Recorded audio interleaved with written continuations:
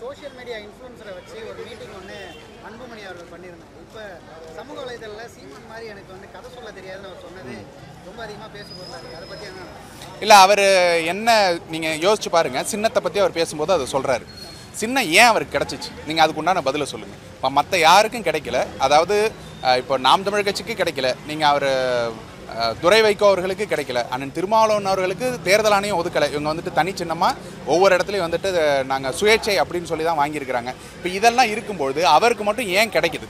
அப்போ கிடைக்கிறதுக்கு உண்டான காரணம் என்ன அப்படிங்கிறத நீங்கள் பார்க்கணும். அந்த கிடைக்கிறதுக்கு உண்டான காரணம்னாக்கா இவர் கூட்டணி போய் ஐக்கியமாகிறாரு அப்படிங்கிறது தான் ஐயா ராமதாஸ் அவர்கள் பேசிய பேச்சு இருக்குது பாஜகவுக்கு நீங்கள் என்ன மதிப்பு கொடுப்பீங்க அப்படின்னாக்க சுழியத்துக்கும் கீழே ஏதாவது இருந்தால் அதை கொடுப்பேன் அப்படின்னாரு. அப்போ நீங்கள் அதை என்னவா சொல்கிறீங்க அந்த மதிப்பீடை இப்போ மாற்றிட்டீங்களா எப்போ மாற்றினீங்க என்ன காரணத்துக்காக மாற்றினீங்க அதை சொல்லுங்கள் எது நீங்கள் அன்புமணியாட்ட கேளுங்க.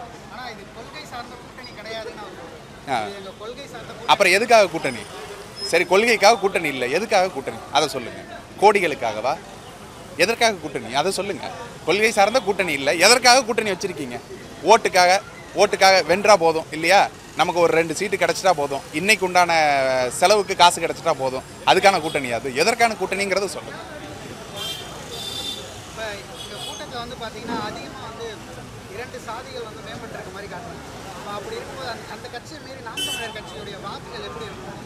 பல சாதிக்காக வா வாங்கக்கூடிய வாக்குகள் எதுவுமே நாம் தமிழ் கட்சிக்கு விழாது. அண்ணன் பல மேடைகள் அறிவிச்சிட்டாரு. நீ சாதி பார்த்து எனக்கு ஓட்டு போட்டினா அந்த ஓட்டு எனக்கு தீட்டு போடாதான்ட்டாரு. அதை தான் நாங்களும் சொல்கிறோம் ஒரு சாதின்னு நீ நினச்சி எனக்காக நீ ஓட்டு போடுறீன்னா அந்த ஓட்டை தயவு செஞ்சு போடுறாது தமிழனாக எங்களை நினச்சி நீ போட்டினாக்க நீயும் தமிழன் நானும் தமிழன் நம்ம ரெண்டு பேரும் சமம்னு நீ நினச்சி போட்டினா அந்த ஓட்டை போடு. அப்போ தான் நாம் தமிழ் கட்சி வளரும். நாங்கள் எல்லோரும் சொல்வது என்ன? நாங்கள் தமிழர்கள் அப்படிங்கிறது தான். அப்போ நாம் தமிழராக எங்கள் தலை நிமிரணும் அப்படின்னாக்க சாதியை பார்த்து ஓட்டு போடாதங்கிறது தான். சாதிக்காக எங்களுக்கு ஓட்டு போட்டுறாதீங்க. தயவு செஞ்சு போட்டுறாதீங்க.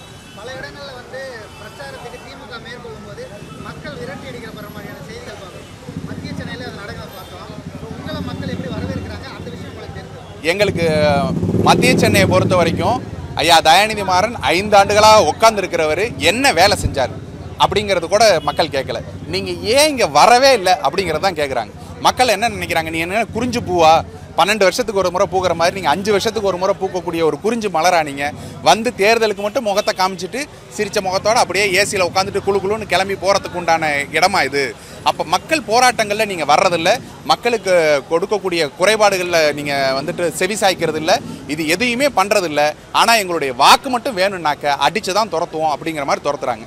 நாங்கள் போகும்போது வாரி அணைச்சிக்கிறாங்க. இவ்வளோ தூரம் வந்துட்டு மற்ற எல்லாரும் நிற்காத போது நாம் தமிழ் கட்சி தான் வெள்ளத்தின் போது எங்களுக்கு நிற்கிது எங்களுக்காக பாடுபட்டது நாம் தமிழ் கட்சி தான். எல்லா பிரச்சனைகளுக்கும் குரல் கொடுக்கறது அண்ணன் சீமான் தான்.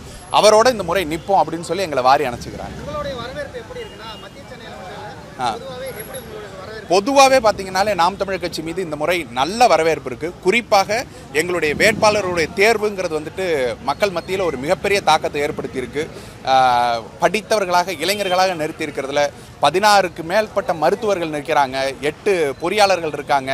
அதே போல் பேராசிரியர்கள் ஆசிரியர்கள் விவசாயிகள் பட்டதாரிகள்னு வந்துட்டு படித்த இளைஞர்களாக இருபது சதவீதம் இருபது பெண்கள் இருபது ஆண்கள்னு ஐம்பது சதவீத இடஒதுக்கீடு கொடுத்து நிறுத்துறது. அதே போல் சமூக ரீதியாக பிரதிநிதித்துவத்தை கொடுத்து யாரெல்லாம் அடக்கி ஒடுக்கப்பட்டவர்களோ யாருக்கெல்லாம் வந்துட்டு வாக்கு வலிமையே இல்லை அப்படின்னு இவங்கெல்லாம் ஒதுக்கி வச்சிருக்காங்களோ அவங்களையெல்லாம் மேலே தூக்கி நீ வா வந்து நில்லுன்னு சொல்கிறது இது எல்லாமே மக்கள் மத்தியில் பிரபலமாக பேசப்படுது. நல்ல வரவேற்பு நாம் தமிழ் கட்சிக்கு இருக்குது